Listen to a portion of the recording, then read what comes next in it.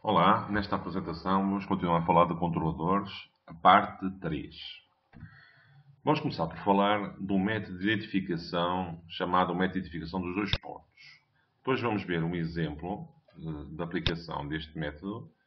No ponto 3 vamos utilizar o modelo identificado no ponto 1 e 2 para sintonizar controladores do tipo PI, PID, usando as regras de Cohen-Kuhn. E no ponto 4, vamos fazer exatamente a mesma coisa no ponto 3, só que as regras vão ser as chamadas regras do IAE. Depois vamos comparar os resultados do ponto 3 com o ponto 4.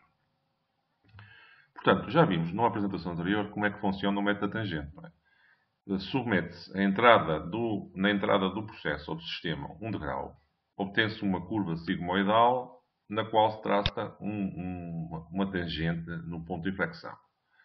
A partir deste, deste processo, extraem-se então os três parâmetros, o T, o L e o K, que definem um modelo de primeira ordem com atraso no tempo. A questão é que muitas vezes eh, este, este traçar de tangente num ponto de inflexão é, um, é algo subjetivo, pode dar resultados diferentes conforme o sítio onde se traça a tangente e é um método que não tem um desempenho muito bom. Portanto, para contornar estas e outras limitações, estes dois autores estão na referência 1, propuseram o chamado método dos dois pontos. Vamos ver de seguida em que é que consiste. Portanto, em que é que consiste então o método dos dois pontos? Consiste em obter na mesma a resposta, a resposta do, do sistema a um degrau na entrada, de forma a extrair da, os três parâmetros, o K, o L e o T. Uh, portanto, basicamente, o que se pretende é obter dois pontos. Dois pontos da, da curva transitória como já vamos ver, um ponto, dois pontos que, que correspondem a, dois, eh, a duas partes específicas. Portanto, primeiro obtém-se então a resposta em malha aberta para um degrau, como já vimos. Depois obtém-se o tempo em que a resposta atinge o 35,3% do valor final. E chamamos este tempo T35. Portanto, este, este ponto aqui corresponde a 35,3% do valor final. Depois determina-se o tempo em que a resposta atinge 85,3% do valor final, que é o segundo ponto. Portanto, este seria o segundo ponto, este é o primeiro ponto, e este tempo chamamos T85. Depois, com estes dois tempos, eles propuseram duas fórmulas. Uma forma, que é esta aqui, que permite determinar a constante tempo, usando o T85 e o T35, e outra que permite obter o, a constante de, de, tempo de atraso da mesma forma, ou outra forma. Portanto, a constante de ganho utiliza-se, determina-se da mesma, da mesma maneira que se determina para, para o método tangente. Vamos ver então um exemplo no qual vamos uh, considerar que o sistema, o processo, era representado por uma dinâmica de terceira ordem, um polo triplo em menos 1. Portanto, vamos assumir eh, que esta é a verdadeira dinâmica do sistema e que nós pretendemos modelar este sistema com um modelo de primeira ordem com atraso no tempo. Portanto, o objetivo é usando o método dos dois, pontos. Portanto, submetemos então um degrau, neste caso unitário, portanto este A é igual a 1 eh, na entrada do processo, como estamos a ver aqui, está um degrau unitário, aplicado na origem, e temos a resposta do sistema, de, do sistema de terceira ordem, e na qual já estão assinalados dois pontos. O ponto verde e o ponto a vermelho. Portanto, a partir eh, desta resposta, determinamos o ganho, de que forma?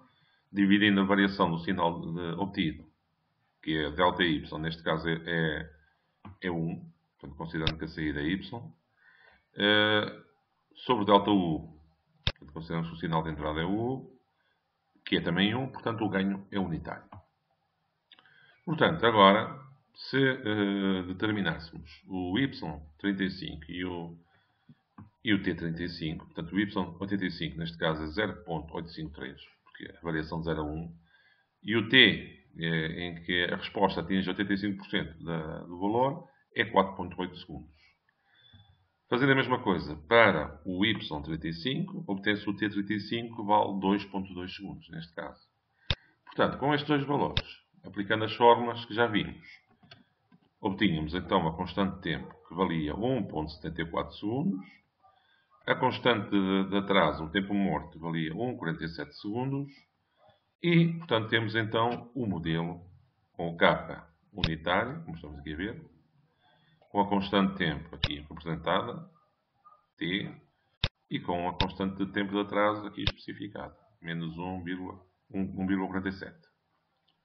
Portanto, uh, o que vamos fazer então? Vamos ver então, neste, uh, se quiséssemos comparar uh, o modelo obtido com o sistema, que também é um modelo neste caso, mas pronto, vamos assumir que este era o, o processo, portanto, este caso aqui é o processo, e este aqui é o modelo, esta parte da função de transferência com um, um tempo de atraso. Portanto, basicamente este, estes dois blocos representam uh, o, um, eh, o modelo. É? Portanto, esta simulação é uma simulação feita no Simulink.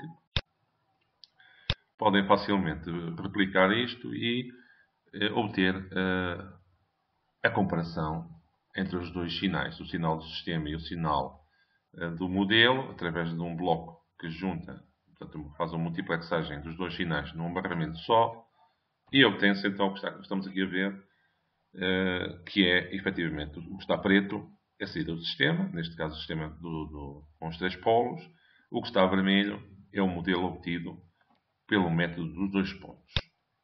Estamos a ver que efetivamente existe aqui um, uma, uma, diferença significativa aqui no início, mas depois o modelo, neste caso, uh, se ajusta muito bem uh, ao sistema. Por uma questão de, de comparação, se fizéssemos a, o mesmo processo com, com o método tangente, em que eu pegaria na mesma resposta e traçava uma tangente que está aqui representada a vermelho num ponto, num ponto de inflexão, aqui tangente a esta parte, obteria, portanto, medindo daqui a aqui, obtinha o tempo de atraso, o L, medindo daqui a aqui, obtinha o tempo, a constante tempo, o t, e portanto fazendo isto, eh, aproximadamente, a constante, o tempo morto seria 0.7 segundos e a constante de tempo dominante 3.9 segundos.